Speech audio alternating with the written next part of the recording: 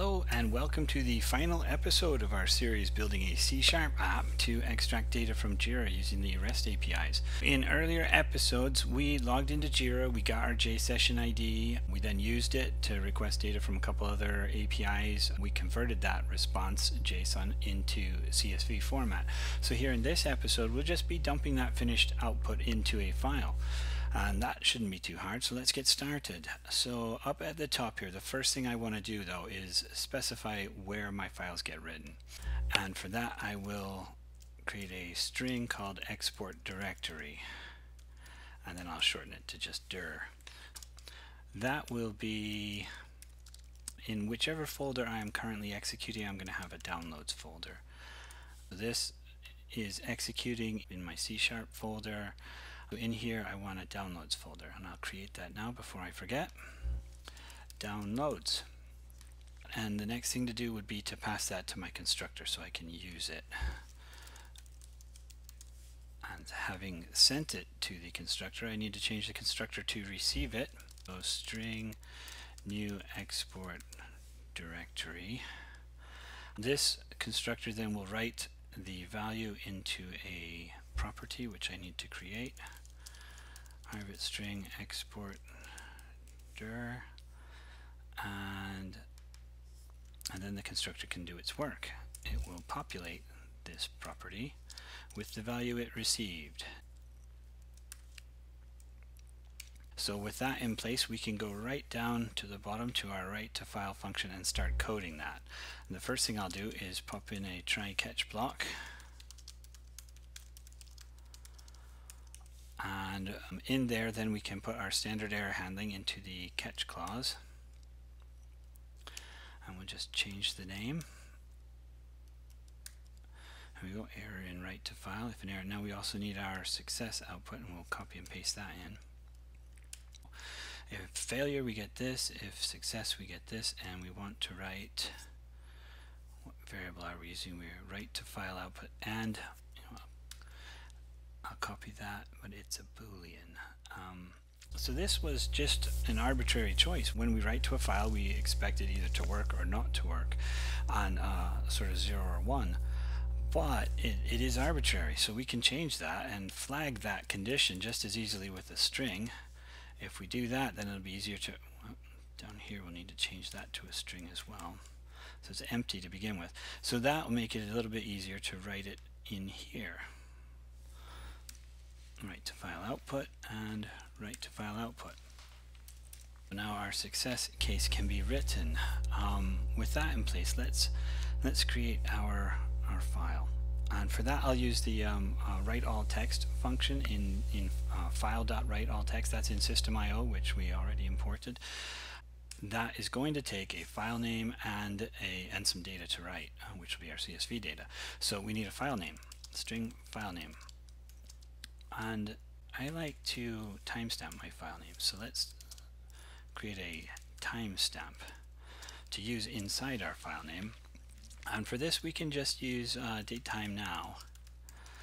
Put it to a string and we'll give it a useful format. Uh, year month day hour minute second that will give us a string with the current date time uh, written into it.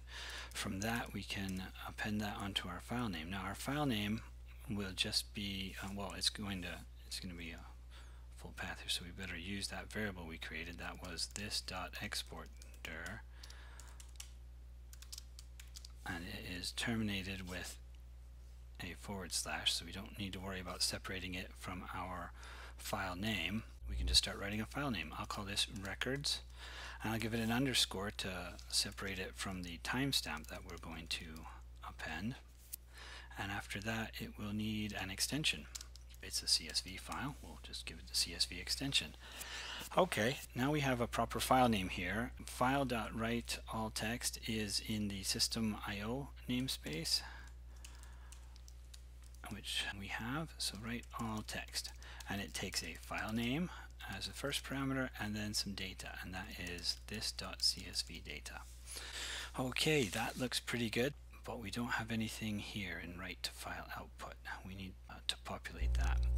So there are, um, what do I want there? I think if I have successfully written this file, then it makes sense to, to interrogate the file itself to get some information back that we could use in our success case.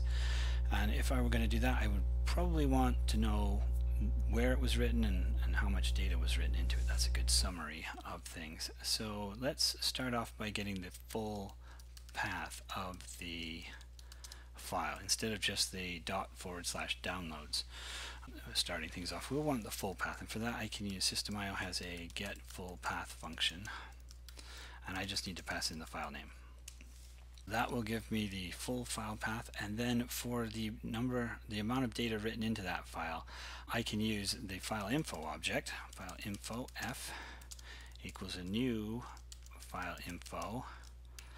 And I just pass it the file name as well.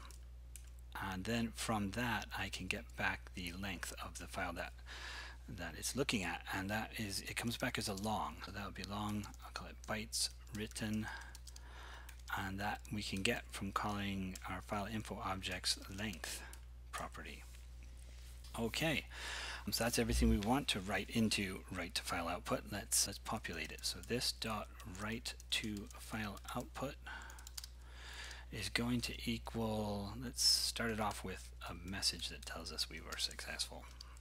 Then we'll put in uh, x bytes written to whatever file. So that will be bytes written to, no, no, I need to say, the message. So bytes written, it will be bytes written to and then we'll give it our full path. Okay, success x bytes written to y. And that should be everything we need. It'll print it out right here in the case of success, and in the case of failure, it will give us whatever error message that that happened. So save, and let's try it out. Hmm, bytes written does not exist. Byte, byte written. There's my problem. Bytes written. I'll save file and it all compiles so now we can go right to executing it and before we do that though let's open up our downloads folder so we can watch it populate okay good and enter. Oh so we got our message 2785 bytes written.